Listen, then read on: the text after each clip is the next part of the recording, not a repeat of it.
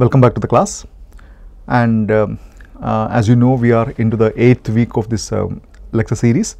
We are looking into subaltern studies um, as a very important uh, uh, theoretical intervention, theoretical as well as methodological intervention uh, into the whole debate about historiography or the questions about studying Indian history.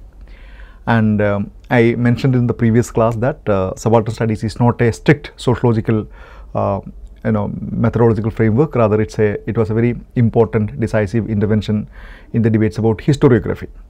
But uh, as you know the subaltern studies framework the way the kind of questions it raised the kind of methodological interventions that it uh, you know it it, it uh, propagated and uh, the kind of ideological critique that it uh, presented to the conventional ways in which uh, knowledge was produced recorded and disseminated they have much long ranging influences on other social science disciplines including sociology, anthropology, women's studies, literature and, and other things.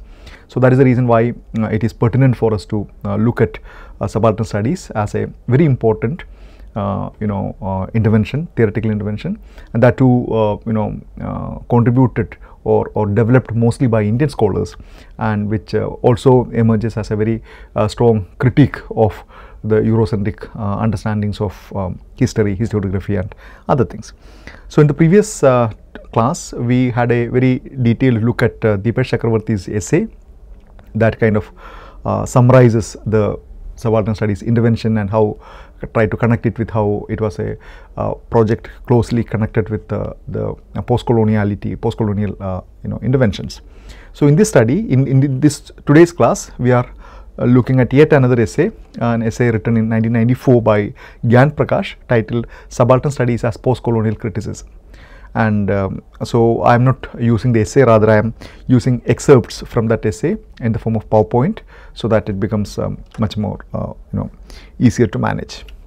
So, uh, to note the ferment created by subaltern studies in disciplines as diverse as history, anthropology and literature is to recognize the force of recent post-colonial criticism. So, um, you know that as I mentioned several times subaltern studies emerged in the 1980s as a very important uh, uh, intellectual intervention started with uh, Ranajit Guha's very very very uh, important book on peasant insurgency. Then they started uh, uh, the subaltern studies edited volume. he Ranajit Guha and, and four or five of his students and then it went up to 12 volumes. So, and, and the last published volume was in, nine, in 2005. So, over these years uh, it actually you know emerged as a very formidable set of intellectual project and uh, it the kind of ferment it created uh, in other disciplines as well as we mentioned in history definitely anthropology and literature is to recognize the force of recent post-colonial criticism. So, why that it, it acts this whole project accepted so much of, of uh, relevance was because it was seen as a very important uh, you know intervention in the post-colonial criticism.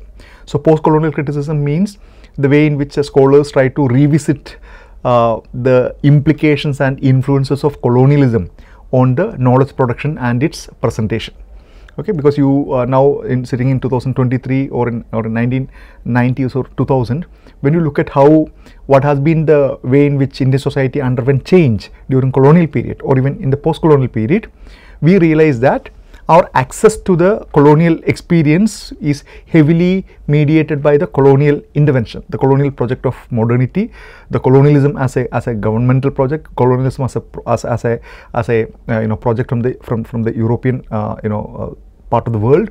So you understand that without uh, having a very uh, you know incisive incisive criticism of the whole colonial project you will not even have a, better access to the various or multiple realities of, of Indian colonial experience and as well as the post-colonial experience. So, there are increasing interest among the academic circle to look at this colonial experience and the colonial way of producing knowledge and then presenting it and articulating it uh, to, to critically look at that and then to explore are there various other ways in which we can uh, look at these things.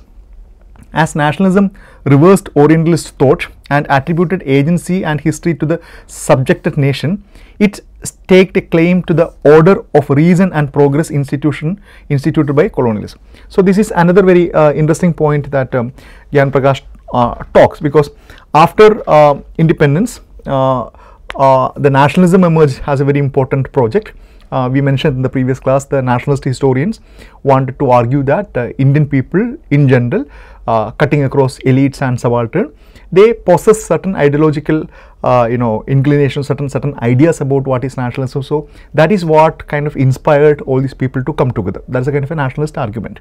And this nationalist argument, uh, Prakash argues, once nationalism reversed the Orientalist thought and attributed agency and history to the subjected nation, it staked claim to uh, the order of reason and progress instituted by colonialism. So, this nationalist hist uh, uh, claims, it argued that the Indian people both elite as well as the subaltern also are capable of using reason and progress and the whole colonial, the whole uh, independent struggle was a, was a spectacle of uh, reason and progress. Okay, so that is how it was actually presented. When Marxists turned the spotlight on colonial exploitation, their criticism was framed by a historicist scheme that universalized European Europe's historical experience. So, uh, the uh, as, as we know uh, scholars like Bipin Chandra who had a very strong Marxist inclination uh, came to the uh, or, or, or, or, you know presented their historio, historical intervention in the nationalist garb. So, they also when they also presented it they could not come out of the kind of a stagist you know developmental discourse that we discussed yesterday uh, that criticism was framed by a historicist scheme that universalized Europe, Europe's historical experience. So, we mentioned that the, that uh, Marxian uh, framework or Marxian analysis of history always presented the uh, the question of development in a uh, in a linear fashion as moving from different stages and uh, they presented the transformation of every society as intricately interconnected with the with the evolution of capital okay. So, a transition from traditional society to modern society is bound uh, you know inherently with the the emergence of, of, of capitalism because it also had this kind of universe and, and that kind of a scheme emerges from the Europe's experience which they believed is the experience for every other nation. Accusing colonialist, nationalist and Marxist interpretations of robbing the common people of their agency, it announced a new approach to restore history or to the subordinate. So, here they are talking about the subaltern studies. So, what uh, subaltern studies intervention uh, made as we discussed yesterday was that it critiqued the Cambridge school okay, which reduced everything into colonial intervention and it, it, it almost accused Indian uh, you know elites for, uh, yeah, for for making use of the colonial opportunities and then uh, presenting the uh, the freedom struggle.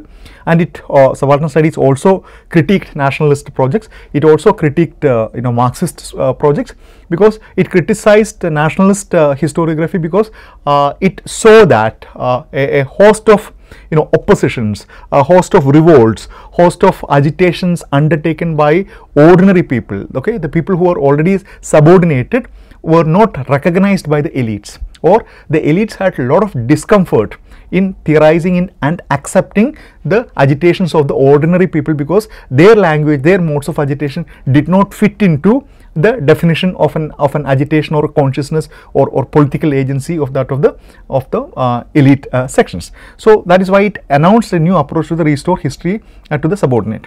The term subaltern drawn from Antonio Gramsci's writings refers to subordination in terms of class, caste, gender, race, language and culture and was used to signify the centrality of dominant dominated relationship in history. So this uh, subaltern is a very broad term and uh, you can look it with respect to class questions. It encompasses questions of poverty, poor, then caste, gender, race, language and culture. It's, it's very, very broadly and loosely defined uh, section. So, Guha suggested that while subaltern studies would not ignore the dominant because the subaltern are always subjected to their activity.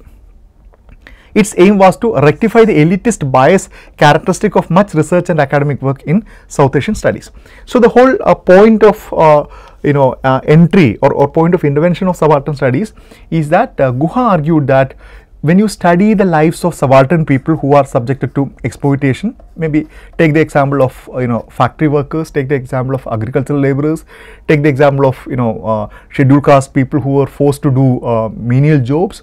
You when you study these people, okay, at the same time it also becomes necessary that you study the people who subject these people to exploitation because without them okay without the people who who, who uh, subjugate them to suppression and, and, and, and oppressive uh, you know uh, methods these people simply do not have their own existence.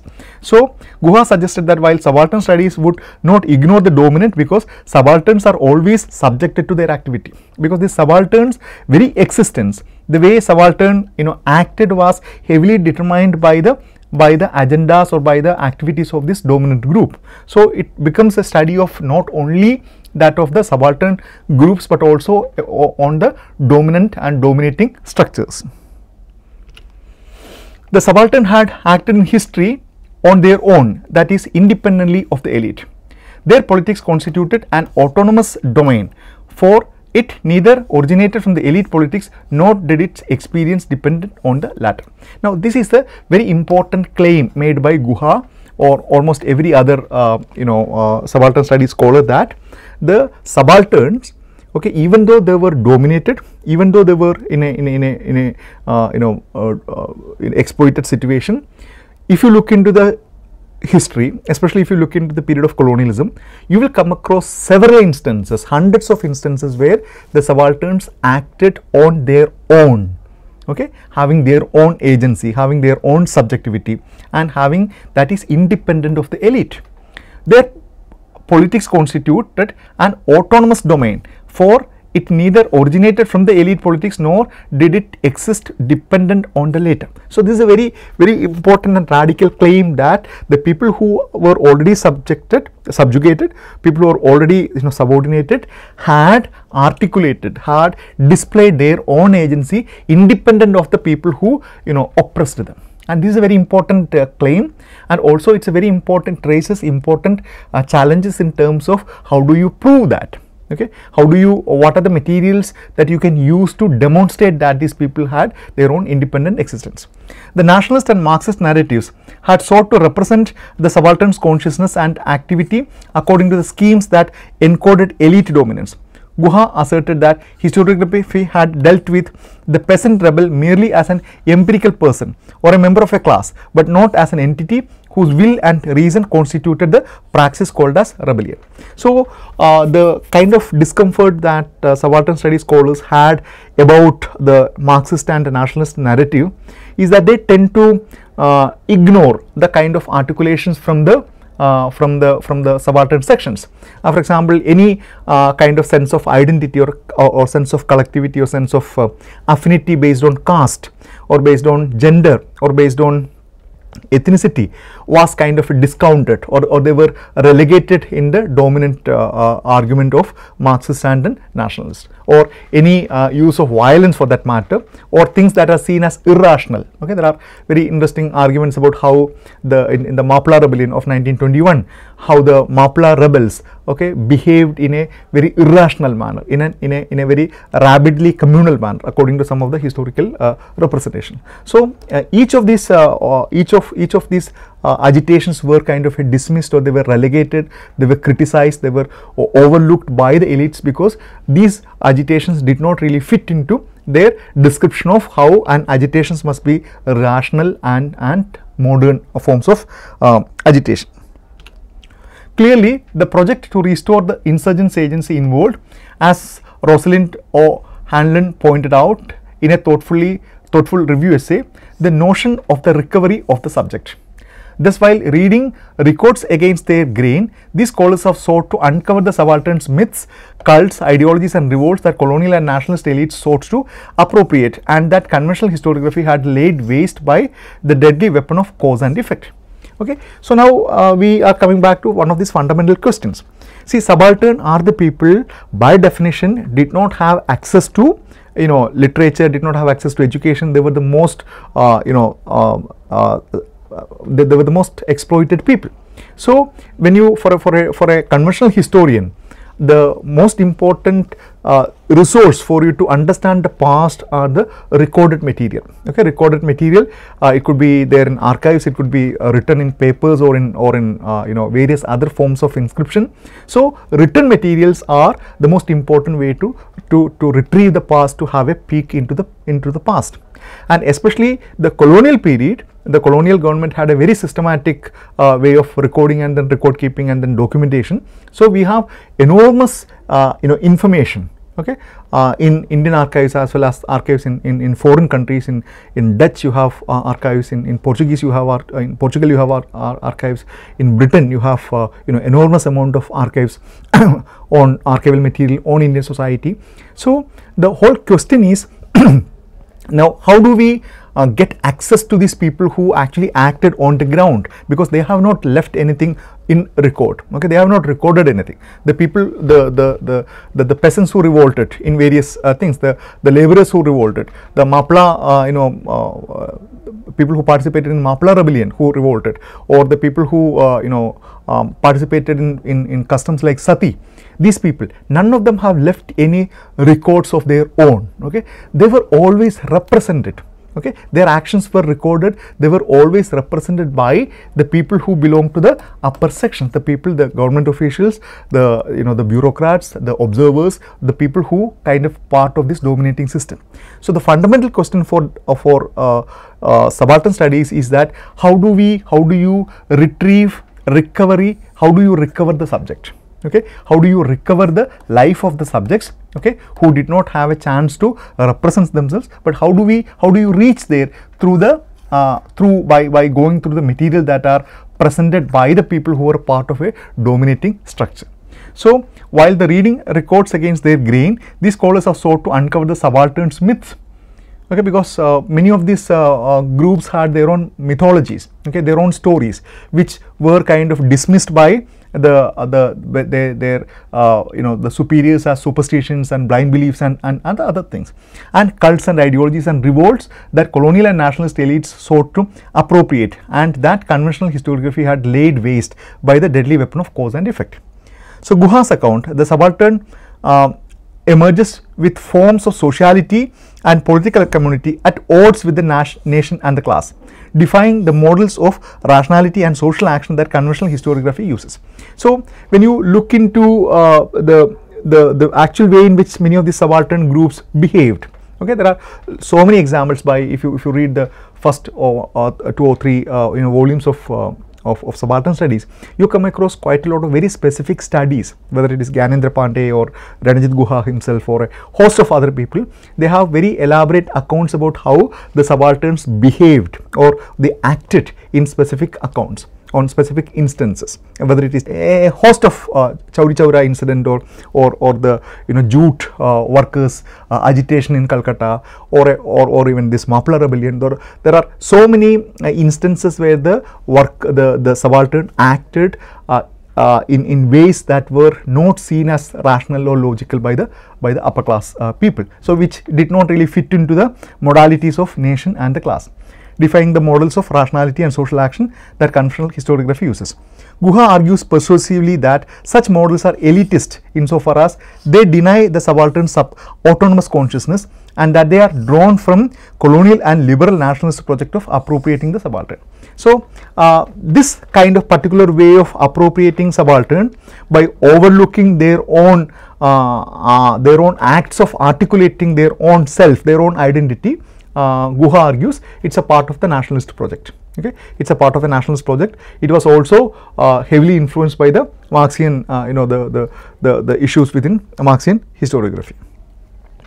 Although the, some scholars have rejected the positivistic retrieval of the subaltern, the notion of the subaltern's radical heterogeneity with, uh, through though not, not autonomy from the dominant remain crucial.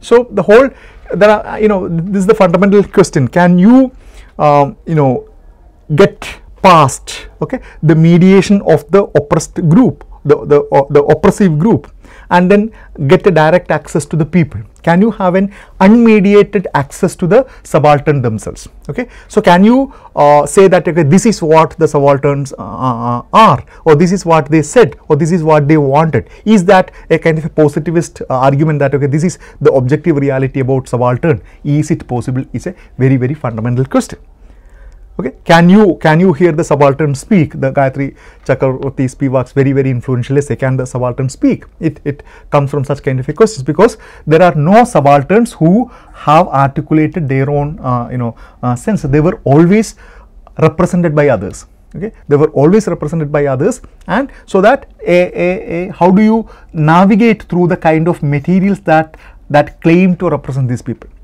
okay? You have no way to understand how the what were the kind of a ideas and the thinking process of the people who attacked Chauri Chaura uh, police station. Okay? You have no way to understand the jute workers mind in, in, in Calcutta or in, or in different other place or in the people who uh, engaged in communal clashes or the people who engaged in the kind of Mapla rebellion. Okay? There is nothing is written of their own okay and they were always represented recorded and then explained justified theorized by uh, the colonial uh, administrators or indian elites so although some scholars have rejected the positivistic retrieval of subalterns the notion of subalterns radical heterogeneity within though not autonomy from the dominant remained crucial. So, the, the claim that they have certain kind of uh, radical heterogeneities there and, and it may not be complete autonomy from the dominant. So, that part remained crucial. It is true however that scholars locate this heterogeneity in discourses woven into the fabric of dominant structures and manifesting itself in the very operation of power. So, how these uh, you know heterogeneity, how their ideas were represented is also the story of power okay, how the power uh, of the dominating structures like uh, bureaucrats and then British government officials or the scholars or the experts, how they used their power okay, in the form of knowledge to present certain kind of depictions, certain kind of explanations, certain kind of theorizations of these people's actions. In other words, subaltern and subalternity do not disappear into discourse, but appear in it interstices subordinated by structures over which they exert pressure. So, so that is a whole um, argument that you uh, the, the, the, the, the subaltern a positivist uh, uh, you know retrieval or recovery of the subaltern is not possible because they simply are not there but at the same time Guha argued that by very uh, ingenious use of these materials okay the way in which they uh, were represented the colonial records you get certain glimpses okay? You certain certain glimpses you certain uh, certain certain certain flashes about how the subaltern uh, behaved or how the subaltern kind of expressed themselves. Such re-examinations of south asian history do not invoke real subaltern okay? Prior to discourse in framing their critique placing subalterns in the labyrinth of discourse they cannot claim an unmediated access to their reality. So these subalterns they were always created through the discourse made by the uh, colonial enterprise. Okay? Because they were already part of a discourse. Now can uh, as i have been uh, you know telling repeatedly can you have a direct access to the subalterns without the mediation of the discourse? Because they are already always a part of a discourse they were part of a discourse because they were already recorded their actions were recorded their actions were commented upon. It was theorized by the uh, people who were in power. Okay for example if there is a, a communal riot takes place between two different caste groups okay? One caste is identified as a hindu the other caste is identified as as muslim. And if there is a violent clash happens because of various reasons okay it was presented in the british uh, uh, records as a kind of a communal clash okay? So the british would uh, british discourse would present this clash between two lower caste people as a communal clash as the religion being the sole reason for it religion being the sole cause for it okay? And the cause for such a clash could be multiple. Religious identity could be one uh, contestations and competition for materials could be different uh, there could be a host of other reasons okay? There could be a host of other factors that might have given birth to such kind of a clash. But this in in the in the in the british uh, narrative in the british discourse it is already it has already become a part of a discourse. So the question is can you access these people okay without uh, without uh, taking the help of a discourse? Or can you can you get access to the uh, to the to the to the subalterns beyond the discourse or before the discourse or prior to the discourse.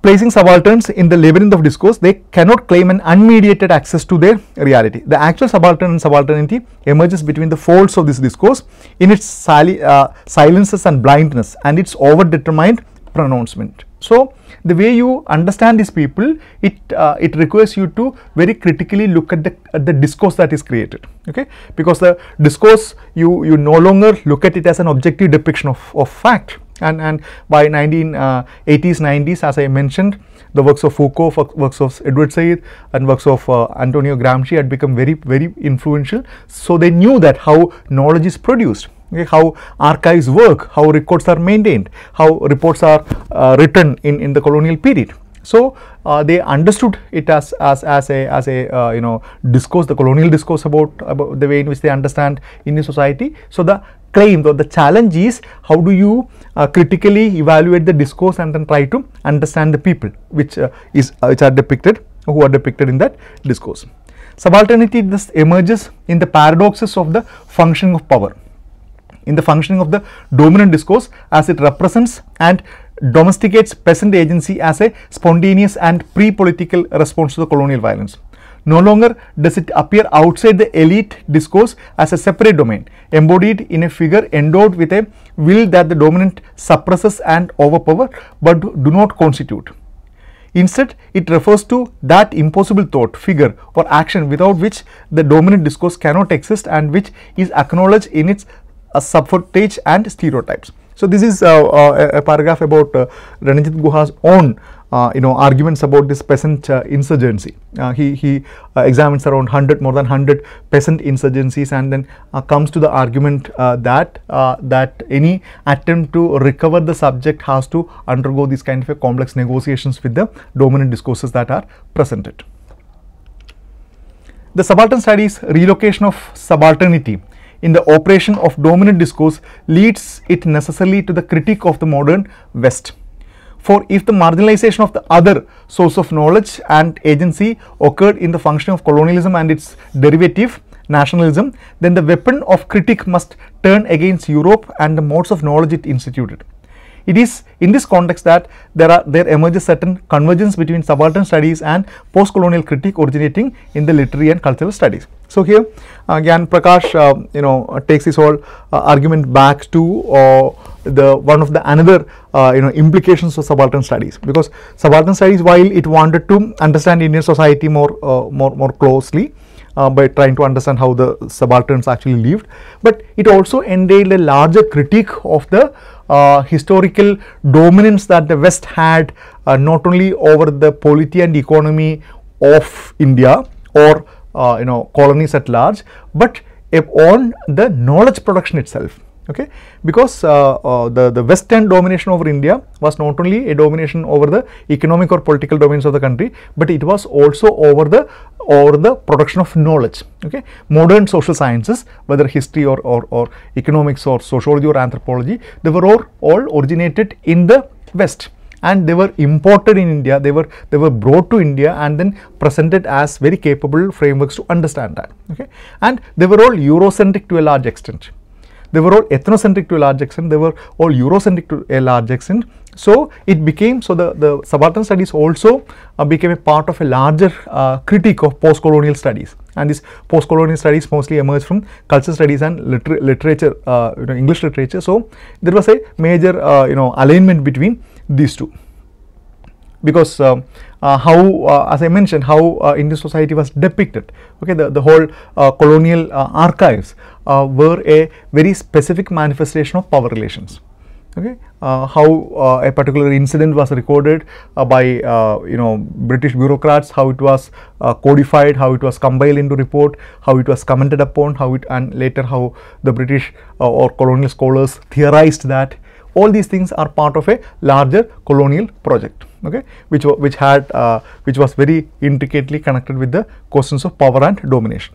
The dominance of europe as history not only subalternizes non-western societies but also serves the aim of their nation state the inescapable conclusion from such analysis is that history authorized by the European imperialism and the Indian nation state functions as a discipline empowering certain forms of knowledge while disempowering others. So, here this discipline is uh, has to be understood uh, in the Foucauldian uh, sense. So, uh, the dominance of Europe also and which was also kind of imitated uh, uh, or, or kind of replicated in the form of nation state. The similar arguments, similar logic was replicated that the inescapable conclusion from such analysis is that history authorized by European imperialism and the Indian nation state function as a discipline okay which is capable of disciplining other forms of alternative forms of knowledge empowering certain forms of knowledge while disempowering others.